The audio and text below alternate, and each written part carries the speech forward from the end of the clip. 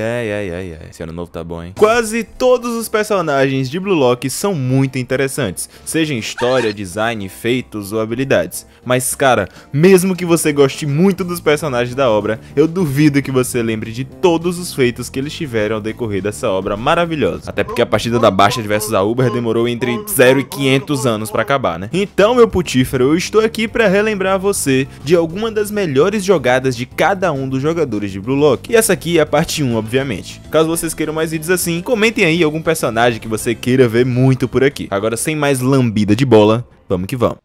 Começando pelo nosso querido Mikagirel, o camaleão atacante. Mikagirel tem uma das habilidades mais fortes de todo o mangá de Blue Lock, e apesar disso tem uma dependência absurda no Nagi Seishiro, e isso infelizmente deixa ele muito por trás em diversos requisitos quando se fala em se tornar o atacante perfeito pro Blue Lock. Porém uma coisa que a gente não pode negar é que essa habilidade dele permite que ele mostre pra gente um monte de jogada completamente inesperada, e esse foi o caso do capítulo 147, onde estamos na partida da Time do Sag, versus a Mancha City, time do Rel. E nessa partida a gente acaba de conhecer um pouco mais do Rel e de sua habilidade, que a gente tinha visto bem pouco. Na verdade, acho que a gente só viu na partida do Rel contra o Rin e do Blue Lock contra o Sub-20. E cara, nessa partida o Rel termina mostrando que foi capaz de copiar dois dos melhores jogadores que a gente já tinha visto jogar até agora, tirando os mestres e o Kaiser, né? Essa jogada começa com o Isag lendo como o Kaiser estava jogando o jogo, enquanto se perguntava como ele poderia melhorar a partir disso, roubando a bola do Kaiser na maior malandragem possível e se preparando para atacar o time da Manchai. Mas o Isag tem a bola roubada pelo Rel, que começa a dizer que já esperava essa jogada do Isag, já que ele costumava fazer isso bem antigamente. E com a bola roubada do Isag, o mesmo usa seu corpo para parar a investida do Isag, e faz um giro em volta do Isag, passando por ele e se encontrando com o Ness, que começa a trocar um x1 com o Rel, entretanto, o Rel utiliza da sua habilidade de camaleão atacante e passa do Ness depois de utilizar a cópia da fucking ponte do Itoshi Sai, avançando contra diversos atacantes e driblando todos eles como se não fosse nada, filho. E olha que o Isagi e o Kurona estavam nesse meio de atacantes aí, tá? Com o mesmo se posicionando e dizendo que não iria mais depender do Nagi para nada, já que ele iria ser o melhor atacante do mundo sozinho, imitando o chute de trivela do Itoshirin com 99 de precisão e, infelizmente, tendo seu chute defendido por Gagamaru, que se esticava todo e pegava a bola com uma destreza enorme, digna do Gultimaru.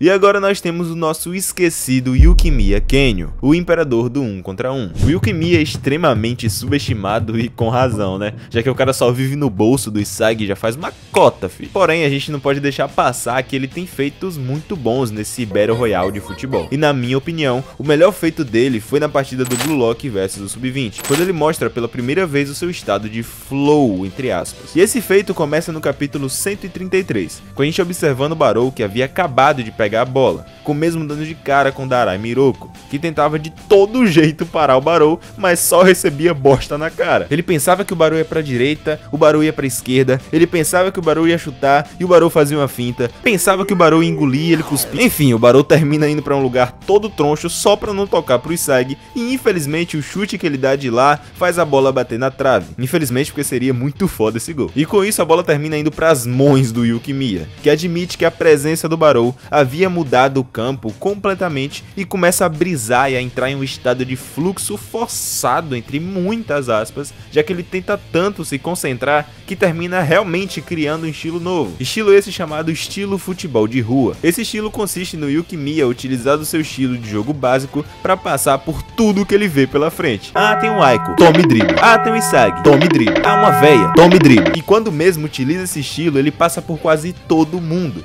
Porém, quando ele dá de cara com o sarrador profissional, ele quase termina perdendo a chance de chutar e dá o seu famoso chute giratório, com mesmo acreditando fielmente que o seu chute iria acertar algum dos dois cantos do gol. Porém, com o nosso próximo membro dessa lista aparecendo e defendendo a bola com a cabeça. E o nome dessa lenda é Oliver Aiko, o policial defensor.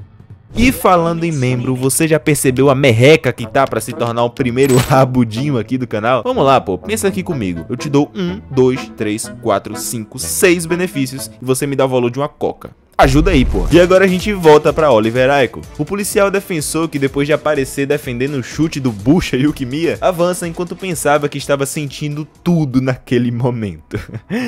ai, ai, Blue Lock. Com a sua cabeçada levando a bola pra Itoshirin, mas em vez disso deixar ele mais nervoso, o Aiko simplesmente instala o Windows 12 no seu cérebro e começa a ver tudo em forma de porcentagem, filho. Com o Nin passando do Sendou e dando de cara com o zóio bonito aí. Com o mesmo percebendo em forma de cálculos fodas que Urim precisava de alcance para usar suas habilidades. Com Isagi chegando para ajudar Urim e com o Aiko ficando putaço com isso, mas com mesmo acompanhando o filho da puta do Urim enquanto mandava o Blue Lock tentar superá-lo, simplesmente calculando qual pé do Urim tinha maior probabilidade de ser usado em sua próxima jogada, chutando no lugar com a maior probabilidade e acertando a porra do pé do Urim, cara. E com isso vencendo na marcação com até então top 1 do Blue Lock. E agora que a bola foi pro Itoshi Sai, eu vou desafiar vocês a adivinhar quem será o próximo jogador que aparecerá. Lembrando que a jogada dele começará a partir desse toque do Aiko pro Sai, e nem adianta ver nos capítulos. Enfim, o Sai pega a bola e avança com todo o time do Sub-20 para um possível último ataque para vitória, com geral do Blue Lock se preparando e com cada um marcando uma pessoa. O Karasu marcando o Itoshi Sai para ganhar o máximo de tempo possível, o Hiyori observando e analisando o jogo da forma que dava. Eu não entendo muito bem o que caralhos o Yuri queria fazer aqui, mas deixa ele cozinhar, deixa ele cozinhar. Com o Bastira marcando o Kitsunezato, o Ariu marcando o Show,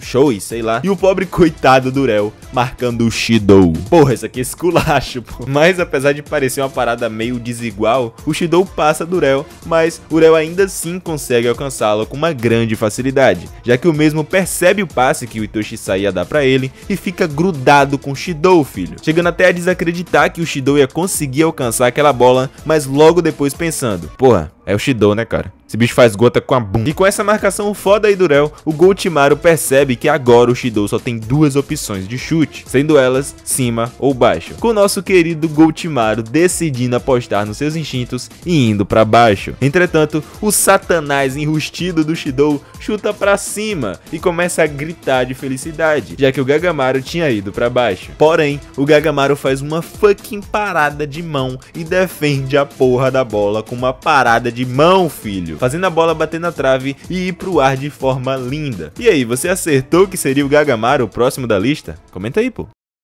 E é isso, minha gente. Comenta aí se você acertou, se era o Gagamaru. E aproveita para escorregar aquela inscrição pra gente pegar 10k. E se você tem mais de 5 centímetros de pau, não deixa o like feche o vídeo, por favor. Não, brincadeira. Deixa o like aí, vai, cara. Custa nada, seu vagabundo. O cara veio Rails o tempo todo e tem preguiça de dar um like. No mais é isso, seus porros. Obrigado a todos pelo apoio de sempre. Tamo junto. Fui!